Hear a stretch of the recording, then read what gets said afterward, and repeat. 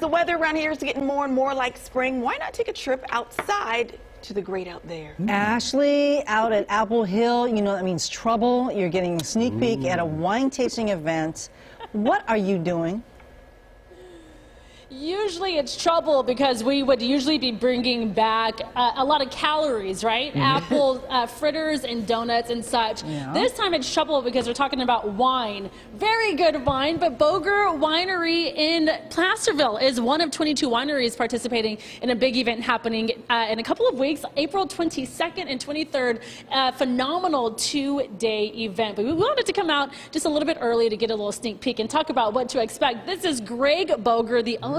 Greg, good morning. Good to see you. Good morning. Good Hello. to see you. But first of all, the property here is stunning. Again, you guys are just one of 22 wineries participating in this big event. Tell me for you why you are excited to get people up to the area, up to Apple Hill to enjoy some wine. Well, it's really great to have uh, customers from the Sacramento, from the region to come up and visit our El Dorado region to realize uh, Napa isn't the only place to visit, but come up to the foothills and see our unique uh, uh, uh, number of wineries we have up here. Yeah, and I think a lot of I think a lot of people probably too, Greg, want to know how the rain and the snow impacted uh, your productivity with the grapevines. Well, we'll know uh, this coming uh, fall when we go to harvest the grapes. But right now, all the prospects look good. We've Yeah. got plenty of water for irrigation this year, uh, plenty of chill hours for the dormancy of the vines. So we're, we uh, look for a positive uh,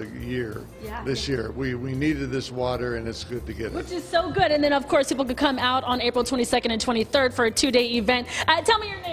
I'm Julianne. Julianne, so you are pouring for us this morning. Here's the thing we can't do a wine segment without pouring and maybe doing a little tasting. But let's talk about what you're pouring for us this morning. So this is our Pinot Grande. It is a white Pinot Noir. It's made with red grapes. Greg's going to talk to you a little bit about what makes it white. Okay.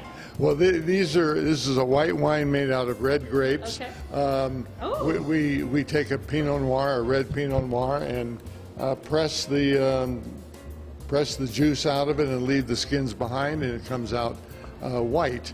And uh, so it's it's a it's a unique uh, wine. Has characteristics of red uh, of red wine, but without the That is color. so unique. I have not heard of that. And I think what's so really great about this experience on April 22nd, while this is something that you all consistently have, you're going to be able to enjoy a different variety, something that's unique to every winery that's participating. Yes, all the wineries will have some unique uh, uh, varieties that they're pouring to, to show what they can do as well as what our region can Got do. it. Now, I just saw you pour something. Is this new? Something different, or is it the same thing? Same thing. I thought you might want to try. So what I'm going to do is, just for the sake, Greg, of not trying on air, what I'm going to do is I'm going to pass over the glass of wine to Claire. and. Rebecca. All right, cool. I just while you guys were talking, I was waving them over. So I want you guys to smell it first and tell me what you think. Oh boy, I'm going to leave this to you, assistant winemaker. Oh, you're the assistant winemaker. I pulled over the right person. Oh, okay. okay. So pretend you don't know what you're talking about. Pretend you're you are just your average wine person who just likes to indulge every blue moon. What do you smell?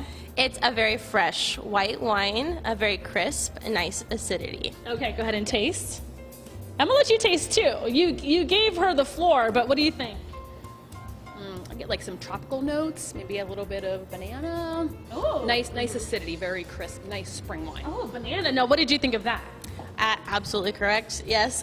very nice. Oh, yes, yes. Uh, don't worry, she's very experienced. She knows what she's talking about. Okay. Uh, very nice lingering finish, and yes, just a really nice spring wine. And um, yeah, and unlike red wine, you could have uh, glasses of that, and your teeth won't get stained. So I think you guys did a good job there. Uh, hey, we do have to wrap it up, but next hour, Greg, we're going to get a chance to go outside to your historic cellar. I am told it's historic for a reason. What year was that historic made, or that a cellar?